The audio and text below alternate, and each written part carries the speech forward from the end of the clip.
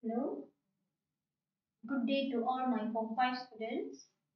Today we are here to continue on the chapter Thermochemistry Part 4 where in this Part 4 teacher will concentrate on the reaction neutralization. Now neutralization was one chapter and one reaction which was introduced to students in Form 4 so I hope students can remember the term neutralization and what actually neutralization means. So neutralization is a reaction between acid and base to form water. So we can even add to form water and salt. Okay, to form water and salt. So that is what we usually write. But here water is the main component which is taken into consideration. Okay, so water is the main component which is taken into consideration and that is the reason why the ionic equation for neutralization will be mainly hydrogen ion from acid with hydroxide ion from base or alkali to produce water. So this is the ionic equation for neutralization. Now let's go to how to interpret heat of neutralization. So we have few points or key word that changes neutralization into heat of neutralization. Now let's check here. Okay, now can you see heat release? Teacher have confidently wrote the word heat release. This shows that heat release shows that heat of neutralization are all exothermic because only in exothermic reaction the heat will be heat energy will be released to the surrounding. Now when one mole of water is formed from neutralization between acid and alkali. So in this reaction we will be mainly looking at neutralization between acid and alkali.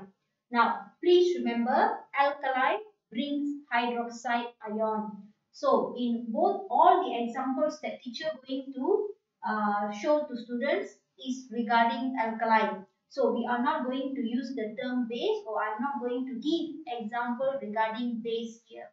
Alright. Okay, now, so let's go to heat of neutralization. Student can understand heat release. This shows that all the reaction of heat of neutralization is exothermic.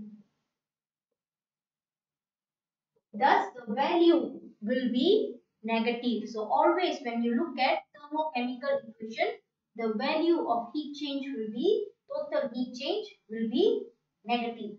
Okay, now, so let's go to types of combination. So, here I would like to highlight that we have four types of combination for neutralization, which is combination between strong acid and strong alkali, strong acid and weak alkali, weak acid and strong alkali, and lastly, weak acid and weak alkali.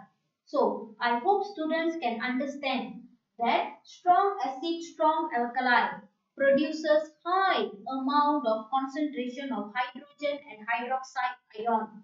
Okay, so I hope you can remember what is meant by strong acid, strong alkali. Okay, chemical substance, acid or alkali, which can ionize or dissolve in water to produce high concentration of hydrogen and hydroxide ion respectively. Now, weak acid, weak alkali.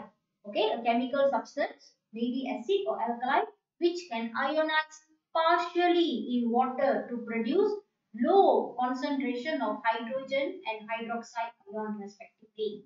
So that is what students need to understand. Now another uh, uh, concept the teacher would like to highlight here is just say for instance when teacher say highest value when teacher mention highest value for instance this produce 57 kilojoule per mole. Just say uh, as, a, as an example medium value. Just say teacher say one negative 53 kilojoule per mole. And the lowest value just say teacher roughly telling okay maybe 50 kilojoule per mole. Okay now students please understand you might be thinking because in mathematics we are taught that negative we are taught that in mathematics negative 1 is more than negative 2 negative 100 is more than negative 200 okay? So please remember that this concept cannot be used for thermochemistry. Why because I want students to understand that the negative value used here is just to show whether this reaction is exothermic or endothermic or not. Okay, now if you follow the mathematical concept, you will be telling that this is the highest value. This will be the lowest value. Why? Because because of thanks to the mathematical concepts, negative value. But please remember the negative value written in thermochemistry is mainly to show whether it's an exothermic or endothermic. So regardless negative or positive value, students have to look at the numbers. That means obviously 57 is higher than 53, 53 is higher than 50.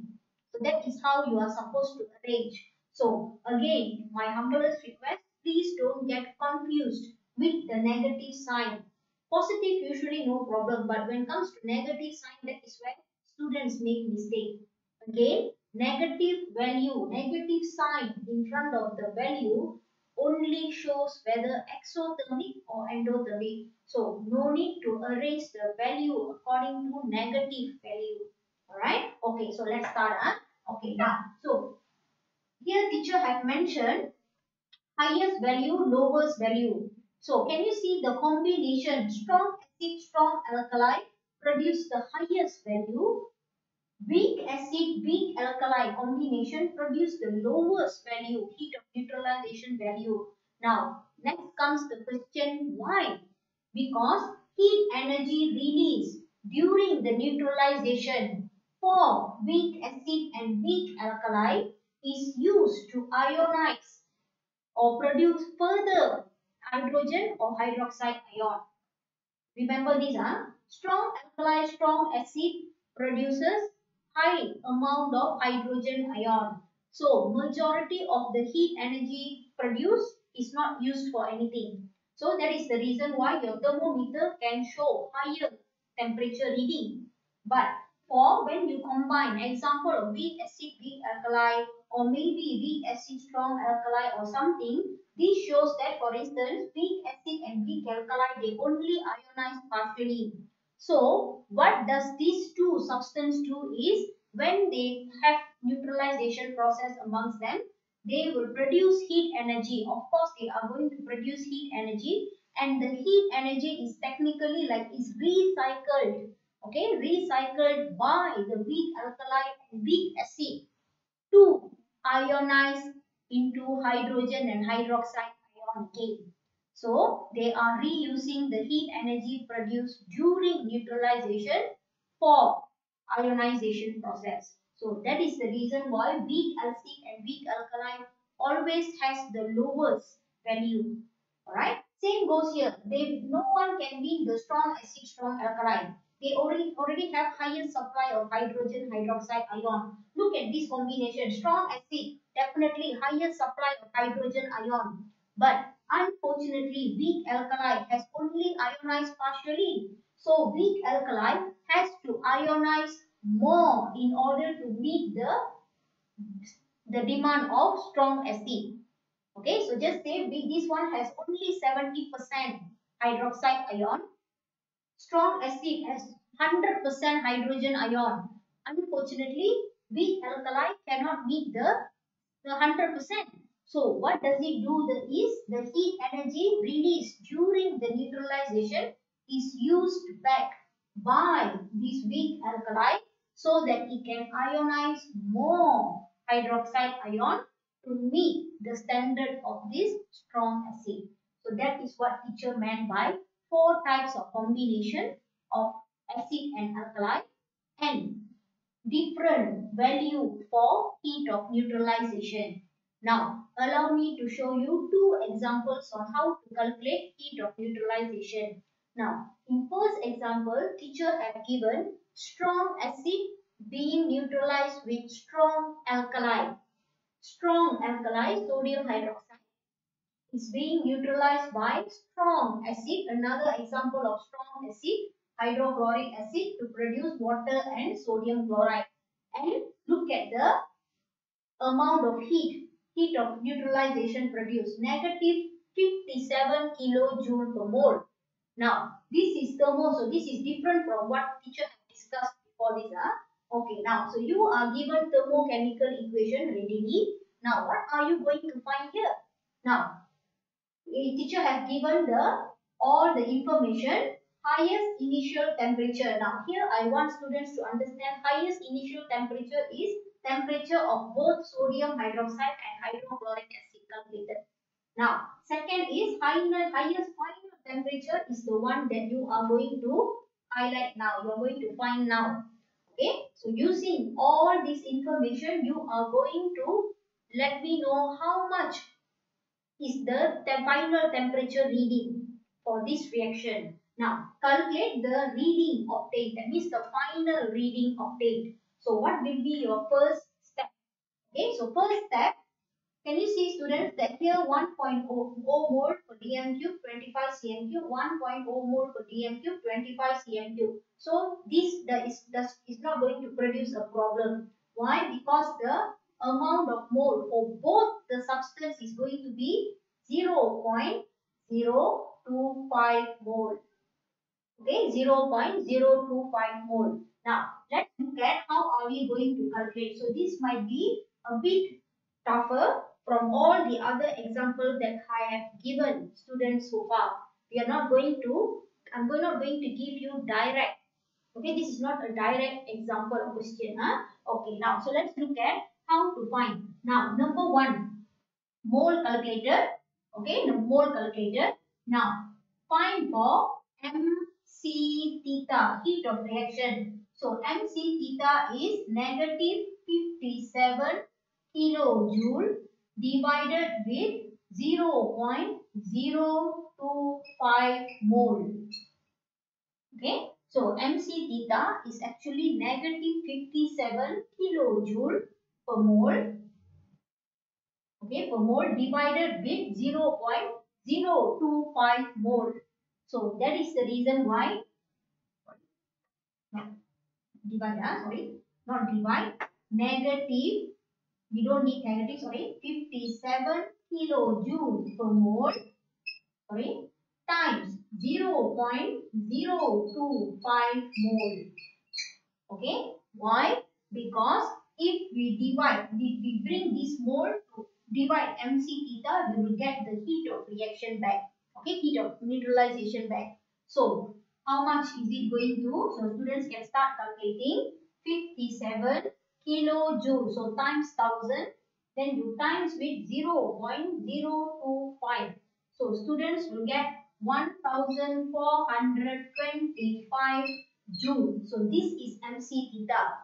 Okay, so if you look at our previous example, students can find the connection between mole, heat of the uh, reaction and heat of the neutralization. Alright? Okay, now step 2. 1425 is equivalent to 50. Okay, why did I get 50? Because the total volume of sodium hydroxide and hydrochloric acid is 25 plus 25. So students will get 50. Okay, so 4.2 C is 4.2 Teacher have explained all this in our video. Okay, so times the theta. So this is the increase of temperature. So now you have to determine the increase of temperature. Then find the reading obtained. Now, so if student calculate, you can find 1425 divided with 50 divided with 4.2. So you will find that the increase of temperature, teacher used uh, two, uh, two decimal place, 6.7 degrees Celsius. So that is the increase of the temperature. So you can find that number 3, the reading obtained is 30 degrees Celsius added with 6.79 degrees Celsius which is the final reading supposed to be 36.79 degrees Celsius. But since thermometer always have one decimal place reading, students can change this into 30 36.8 degrees Celsius. You must be a bit logic. Alright. So this shows that the final reading that your thermometer is going to show is 36.8 degrees Celsius. Now let's look at the second example. Okay, so second example, teacher have used ethanoic acid. Students, you must know by now what is the profile of ethanoic acid? Ethanoic acid is an example, classic example of weak acid. Okay, which ionizes partially in water to produce low concentration of hydrogen ion. And I am mixing with sodium hydroxide which is a strong alkali. So we are going into this combination. Okay, we are going into this combination. Now let's look at the nature of this question. Okay. Now volume and concentration of ethanoic acid and sodium hydroxide is already given. So it is easier. So you can predetermine the mole 0 0.025 mole. Okay, 0 0.025 mole and the highest initial temperature is 30 degrees Celsius and the final temperature is 36 degrees Celsius. Okay, 36 degrees Celsius. Now, what do you exactly, what are you exactly supposed to find? You are supposed to find what will be the heat of reaction for this reaction, heat of neutralization for this reaction. Right? Okay, so heat of neutralization first starts with mole. So, mole used for both of them is 0.025 volt. Second, find MC theta. Okay, so MC theta, both the solution is mixed to produce 50 cm cube of volume.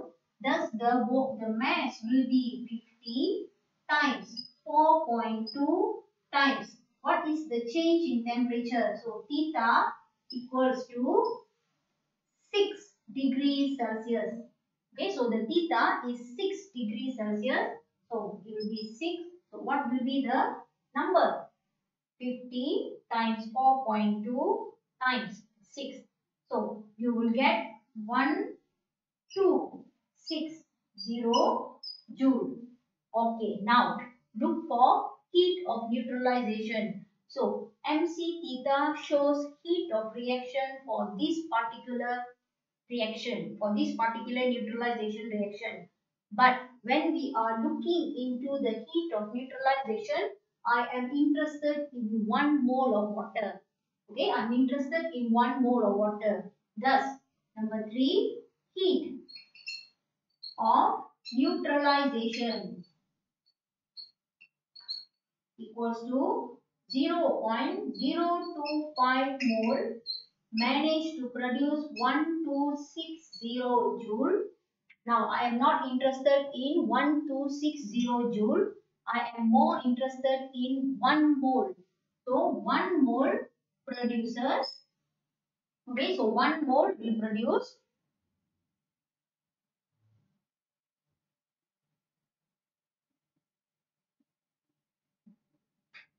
Fifty four hundred joule or 50.4 kilojoule.